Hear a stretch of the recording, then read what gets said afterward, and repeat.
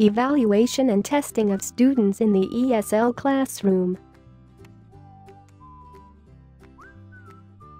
Evaluations are the useful tools or techniques that provide insight for modification, planning and in some cases redesigning a course.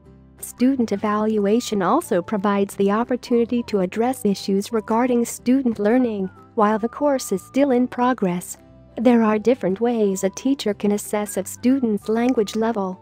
Tests, tutorials, evaluation by the students, this post was written by our ITTT graduate Michael O. Tests.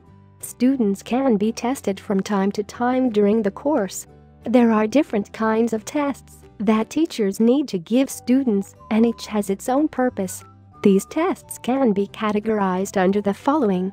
Placement test this test is done in order to find the appropriate level to place a student based on their language ability, and sometimes the age of the student also matters. Some schools use multiple choice questions, and some use picture-based questions. It should always start with greetings and simple questions to make the student comfortable. The diagnostic test. This test is usually more extensive Typically, students are given a diagnostic test at the beginning of the course to determine how much the student knows and also to check areas that need improvement. It is similar to the placement test, progress test. This type of test is normally given to students from time to time with the aim of checking how much language they have acquired and how much they can remember and what they have forgotten. It therefore helps both the teacher and the student to know which areas need improvement. Practice test. This test is meant to prepare students for external examinations by following the specific format and structure of any upcoming exams.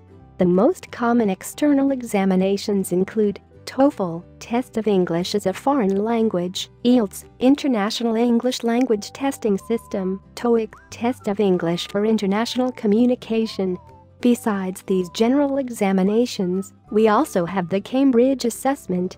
This is a non-teaching department affiliated to the University of Cambridge which carries out a number of assessments such as UK OCR Examination Board, General English, and Business English.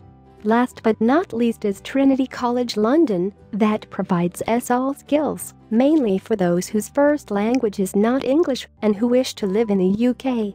Tutorials this is another very important aspect of evaluation and teaching that can be done with an individual student or with the whole class.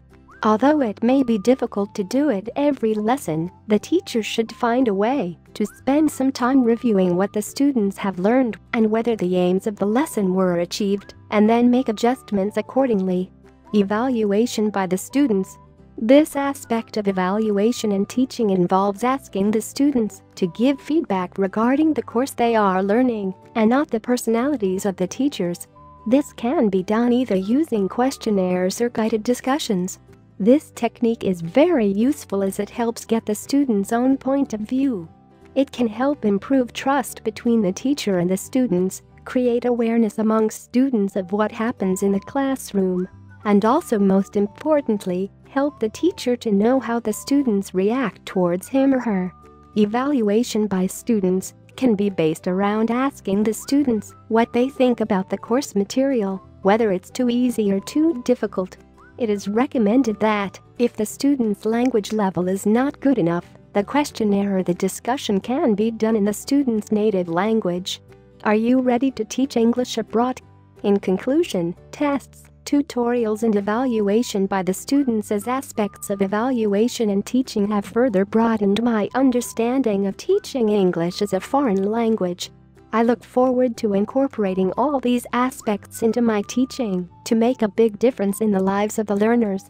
Apply now for your TEFL TESOL certification course and start teaching in a matter of months.